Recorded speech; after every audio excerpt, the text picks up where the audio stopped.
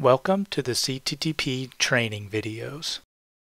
ARDOT 460 Solvent Washing and Sieve Analysis of Asphalt Concrete. Record the percent binder content from ARDOT 449, the determination of asphalt content of asphalt mixtures by the nuclear method.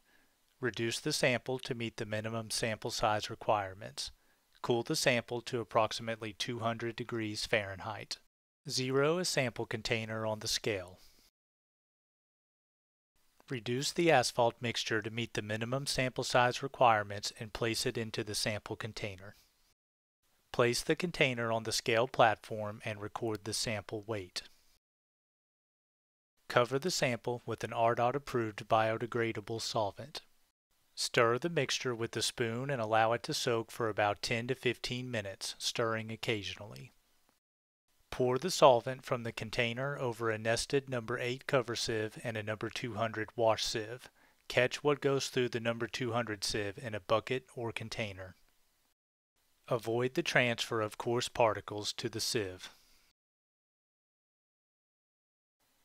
Cover the sample with fresh solvent. Stir and allow a short soaking time. Pour the solvent from the container over the sieve stack.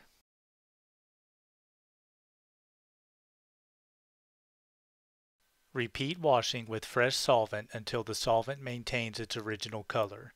When the aggregate is free of asphalt coatings, drain as much solvent from the sample container as possible.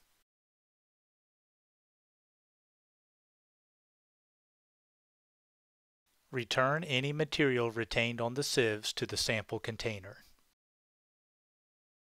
Wash the sample with water to remove the solvent residue.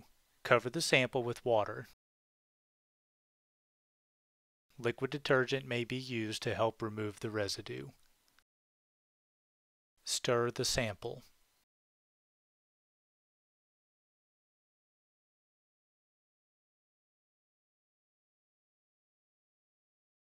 Pour the wash water over the sieve stack.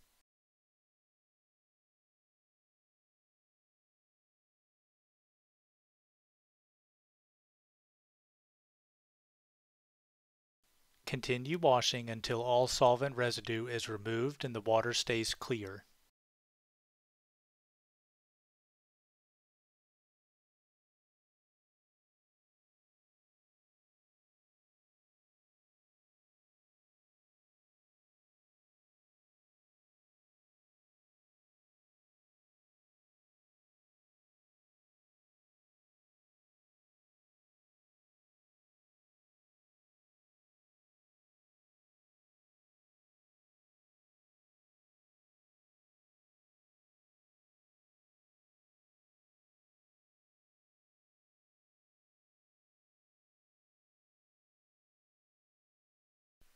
Rinse the spoon over the sieve stack. Rinse the cover sieve and remove any retained aggregate, returning it to the sample container.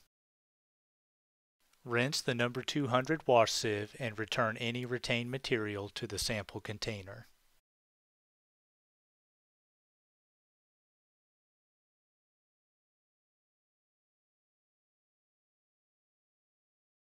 Dry the sample to a constant weight. Cool the sample and record the dry weight after wash. To calculate the total weight of aggregate before wash, multiply the recorded sample weight by the percent stone in the mix and divide by 100. Finally, sieve the sample and report the percents passing to the nearest whole number except for the number 200 sieve, which is reported to the nearest tenth of a percent.